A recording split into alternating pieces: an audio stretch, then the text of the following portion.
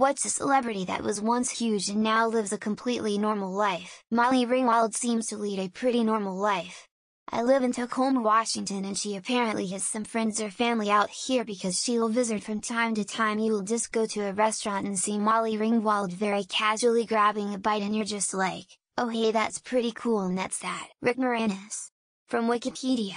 In 1997, Moranis took a hiatus from working in the film industry. He later explained, I'm a single parent and I just found that it was too difficult to manage to raise my kids and to do the traveling involved in making movies. So I took a little bit of a break. Reminds me of an article I read about tabloid reactions to past stars looks over time. If they undergo cosmetic procedures, they're unrecognizable. If they have not succumbed to vanity and have aged naturally, they're unrecognizable. There's no winning at this game. David Caruso CSI Miami and NYPD Blue spotted filling up his old Ford Flex wagon at a Unocal 76 station in Encino two weeks ago.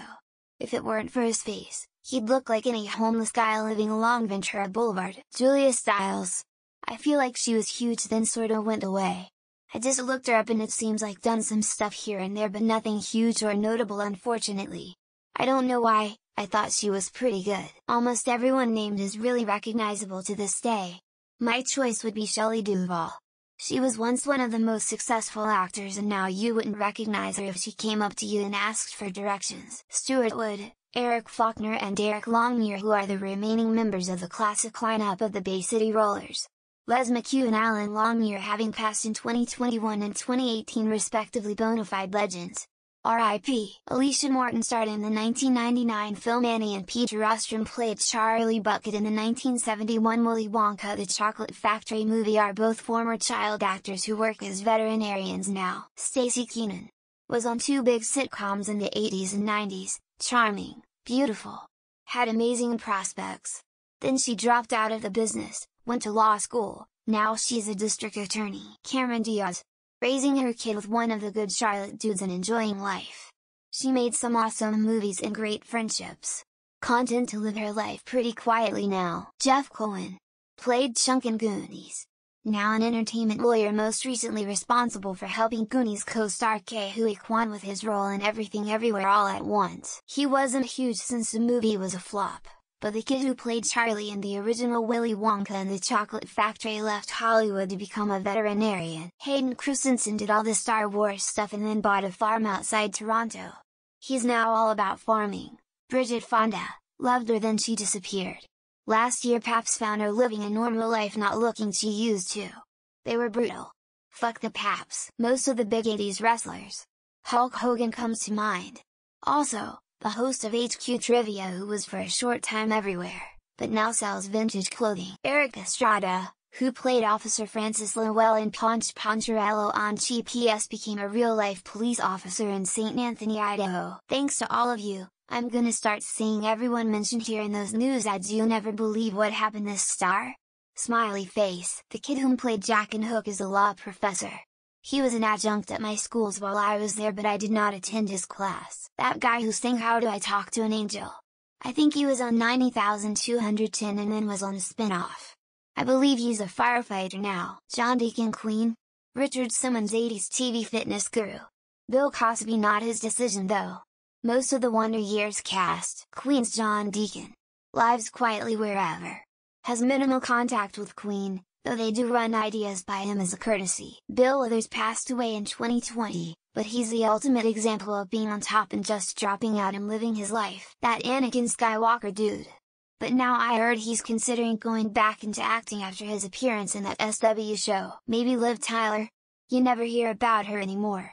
She lives in London, just being a regular mom and raising her kids. Review G55197D26991 reviews Full Gospel Tabernacle Memphis. Melissa Joan Hart.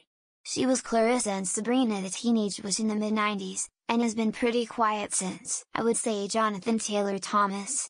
He was so big in the 90s, now he's mostly if not entirely behind the scenes. Sisqó from the Thong Song lives in suburban Minnesota and goes about his business just like anyone else. It was Rick Astley until we relentless rolled our teachers and friends with the Rickroll circa 2006-ish. Rebecca Jorden. Who is she?